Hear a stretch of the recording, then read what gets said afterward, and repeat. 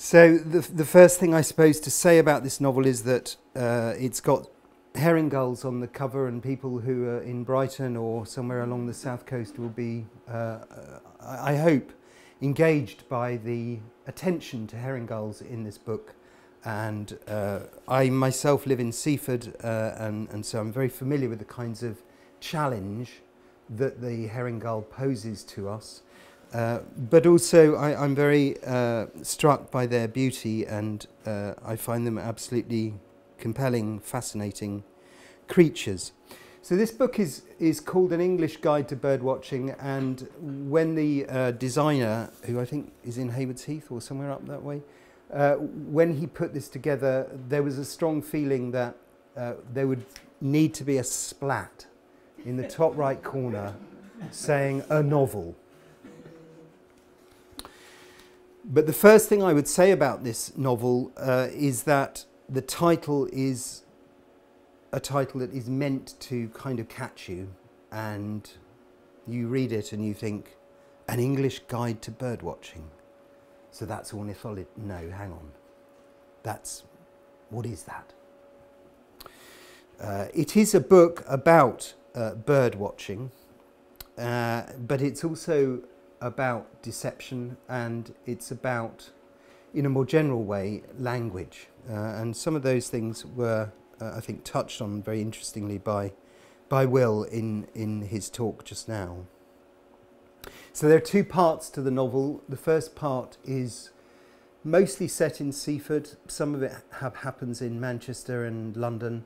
Uh, it's about a retired couple. They lived in Croydon. They were undertakers and they've moved down to, uh, to Seaford to spend their twilight years.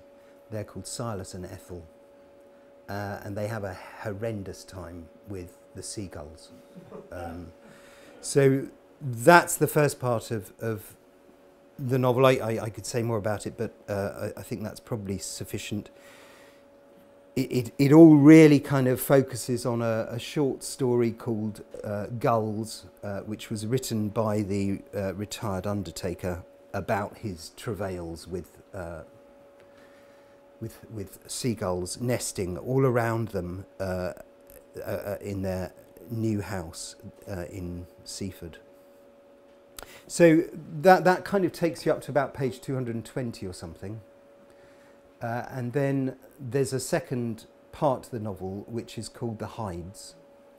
And uh, the hides are, I suppose, the meaning of, uh, of hide, as you probably uh, are aware, uh, you know, primarily it's a, an observation hut for, for watching birds. So for, for a, a screened off location for the observation of birds. But I'm, I'm trying, I suppose, because I'm interested in language, um, like Will, I'm trying to explore the different possibilities of this word hide, which I think is one of the most interesting words in the English language, uh, and trying to think about the hide also as a, a kind of observation place for for talking about the novel itself, not this novel necessarily, but, but in a more general way. What is a novel? Why do we read novels? Why do we write novels? So uh, the hide in that sense is a kind of place in the novel that is outside the novel, if that doesn't sound too weird. Okay. And I thought I would read uh, a couple of the hides. There are 17 altogether.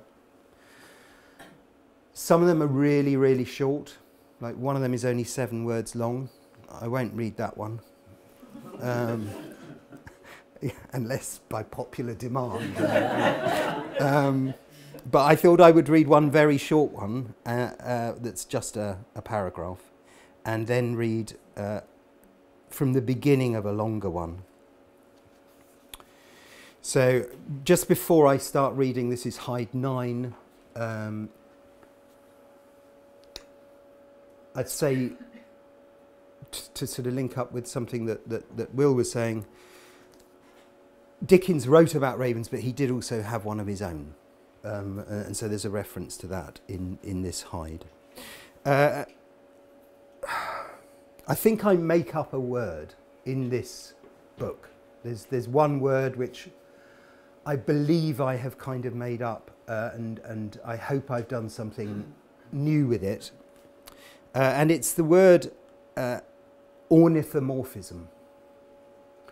Uh, so this is a word which literally means in, in Greek, I suppose, in the shape of the bird. And it's modelled on the idea of anthropomorphism. And everybody's probably familiar with anthropomorphism. We had a very good example of it with Jemima Duck, the, the ways in which we project human characteristics onto non-human creatures or, or indeed inanimate objects like the legs of a chair or the face of a clock or whatever. So anthropomorphism is one of the interests of this book, but um, even more so uh, for me is the idea of ornithomorphism. So if you're baffled, uh, you would be. Uh, I, I hope reading this paragraph will slightly clarify it for you. Language, so this is Hide 9. Language is variously anthropomorphic and ornithomorphic. Anthropomorphism may seem to spread its tentacles everywhere. But what about ornithomorphism? Think of Mozart. He kept a starling, and he knew backwards what he was talking about, dreaming of singing and composing Twinkle Twinkle Requiem. Think of Dickens. He kept a raven and he knew backwards what he was walking about, dreaming of scriving and croaking the voices of the streets and the oppressed, police rookeries, sniff pecking and missed flights. But hold a space too for the other way round, the starling that kept Mozart and the raven that kept Dickens. People speak of a man whose wife has proved unfaithful as a cuckold, for example, with little or no awareness that this is an ornithomorphism, deriving from the Old French cuckoo for cuckoo. But then, in a silly or slightly mad anthropomorphism, people also appropriate the bird in order to, distinct, to designate someone as silly or slightly mad. For Wordsworth, on the other hand, the cuckoo embodies poetry itself. It is a wandering voice, an invisible thing, a mystery. Cuckoo, cuckoo. A word can be a hide. Okay, so that, that's uh, Hide 9. Uh, and then I thought I would uh, read the beginning of hide 11. Uh, I'll perhaps just say in passing that uh, one of my, um, one of the things that most, uh, I suppose, excites me about this book is the illustrations. Uh, and I, I, feel extremely honoured and, and fortunate to have uh, a friend, Natalia Gasson, uh, who has produced uh, a number of really marvellous uh, line drawings uh, for this book. And if anybody picks up a copy, you can see, you can have a look at them. For example, at the end of the hide that I'm going to read the beginning of, um, there's an extraordinary drawing of a, of a dodo um, which is modelled on, in fact, the dodo in uh, the Pitt Rivers Museum in Oxford. So uh, this, uh, this Hide, Hide 11, what, what might you need to know? There's a reference to Virginia Woolf, which is actually, you've already heard it. So close to committing suicide, she's hearing the birds singing in ancient Greek. There's also a reference to Asham Wharf. I don't know if anybody has a, a knowledge of Asham Wharf uh, near Rodmell. It's where Virginia Woolf's body was washed up uh, three weeks after she drowned herself. And there's also a, a reference here to a woman called Phoebe Snetzinger. Has anybody heard of her? No. So one of the things that really struck me when I was writing this book was how much uh, ornithology is about men, right? It's a very kind of male preserve, and there are very few women in the history of the writing uh, uh, about birds, and very, very few women who um, birdwatch. Uh, and Phoebe Snetzinger is a spectacular exception. So she's worth looking into, finding out about uh, what she what she did, she had cancer, um, she was going to die, and she refused treatment and she went bird watching in Alaska instead. um, and she was cured. Um, she was actually killed in a road accident on Madagascar some years later when she was trying to, to, to spot a bird. Um, to add to her list of 8,900 and something, which was, I think, at that time, the world record. So there's a reference to, to Phoebe Snetzinger uh, as well. So this is a, a hide about a, a, woman who doesn't have a name. Um, and in, in many ways, this, as I say, being a novel about the nature of language and our relationship to birds, is a novel in part about anonymity or the nameless or the unnameable. And so uh, that's something that this hide is also trying to explore. Hide 11. It is a raw winter's morning on an exposed stretch of Norfolk coast. There is brilliant sunshine, but a bitter wind. She is wrapped in her warmest winter coat and boots, prepared as best she can for a freezing walk and standing about with her mother's old field glasses, picking out an avocet here, a sandpiper there, in the shallow water of the intertidal pools and on the adjacent sand flats. She takes a seat in the hide as if finding her way at a theatre after the lights have gone down. She is vaguely aware of other bodies huddling up this side and that, enabling her to plant herself somewhere near the front and gaze out at the waders and other birds. She stuffs the field glasses back into a deep pocket in her coat. She hadn't expected to find herself here. She feels trepidation. She is no birder. Serious bird watching is to her as foreign as train spotting.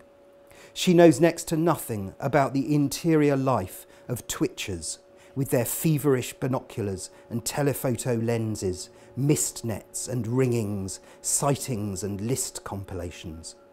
If she were in a novel, she would have some distinctive, rather enigmatic name such as Penelope Menace. Penny or Pen for short. But she is not in a novel, she is in a hide. There is a quietness that recalls the undirected anguish pervading an empty corridor in a hospital, or the laceration of leaving the September sunshine and going through the big red door on her first day at primary school. She thinks of London taxi drivers who have the knowledge and of birders who have theirs. There is knowledge she will never have, and in the half light of the hide, it is pressing in on her from all sides. Her mother liked birds but was no Phoebe Snetzinger. She had a good pair of binoculars and carried them when out on long walks in the country or visiting bird sanctuaries. But it was an interest the daughter had observed and humoured rather than shared. Real birders were obviously men. They must start picking it up from early boyhood, boys and their fathers. There are, she notices, a couple of mothers and girls here in the hide, but they figure differently. She doubts that they have the knowledge in the same way. Ornithology is a man's world, or it is at least, by and large, written by men. She is not crazy like Virginia Woolf when the birds start singing to her in ancient Greek. Still, something is happening. You might die tomorrow or before the hour is out. She has thought that very often for many years. But now death appears differently. It has moved distinctly closer, even at moments it seems within smelling or tasting distance. It resembles a troubling version of that children's party game where you are at the front with your back to everyone and try to catch one or more of them moving when you turn round. You look at a woodland scene, a crowded railway station, your room with its simple furnishings. Only death brings death near. That thing called by whatever fugitive name, has edged up in camouflaged closeness, but you cannot see where or how. A girl behind her, who can't be much more than 13, whispers something to her mother and giggles. Somewhere to her right, one birder mumbles something to another. The woman looks ahead, trying to set aside the mild intrusiveness of other people, the collective smell of rain jackets, rubber boots, and tweeds. In her peripheral vision, she picks up the profiles of people with raised binoculars close to the window. At the same time, the hide remains shadowy, and for a moment it is as though some gyrating, snowy mass of shadows were passing over her eyelids. She is not crazy like Woolf when the bird starts singing in ancient Greek. Still, as a character called Penelope Menace, she would pass the entire duration of a novel walking about in the Sussex Downs around Rodmell. Every detail of flora and fauna, weather and feeling, history and culture, space and time consciousness should feature, along with dozens of digressions. On her rambles, she would see the stranger painting on the hill. She would follow him through her field glasses. They would meet. In the end, however, she would be alone.